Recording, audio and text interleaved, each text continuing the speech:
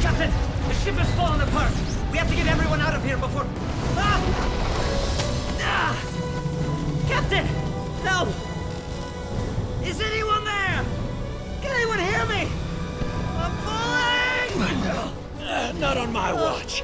Captain, I can't believe No it. No time to thank me. It's just what captains do. Now hold on while I. Looks like this captain's going down with his ship. You can make it. Just let me go. Never! Spock, Falling would be highly illogical, Captain. how did you? Explaining would be a waste of time and energy. Not to mention the high improbability that either of you would understand it. Now let me just. Ah! Captain, I appear to be slipping. Hold on that Vulcan death grip of yours, Spock. Rescue is here. Oh, great, a girl. What? Chauvinist? Girls have weaker upper body strength. That's a scientific fact. I can confirm that. Do you want me to drop you? Maybe I should go get some bro to help you out instead. Oh, I can't believe this is happening.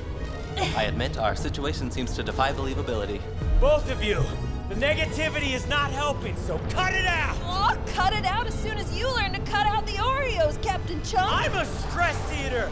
But you know what? I still look great. Not from this angle. Do you want me to drop 130 pounds, Scotty? Point taken. Slipping!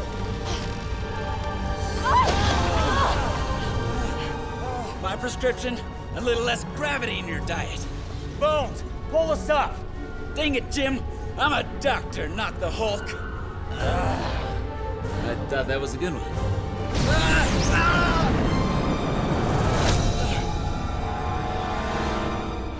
Well, we're officially dead now. Why do people keep showing up at the last possible second? This is the worst!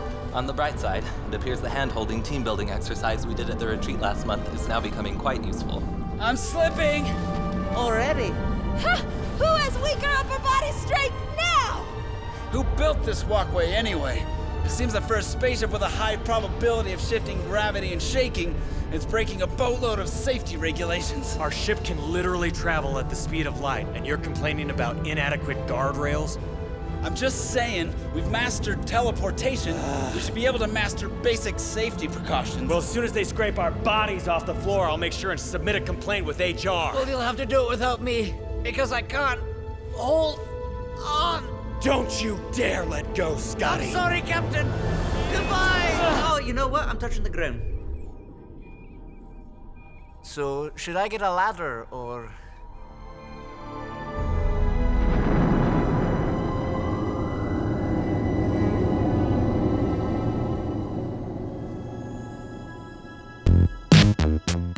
Hey, 喂，大家你好， 我叫白燕如，希望你所看到的都很喜欢。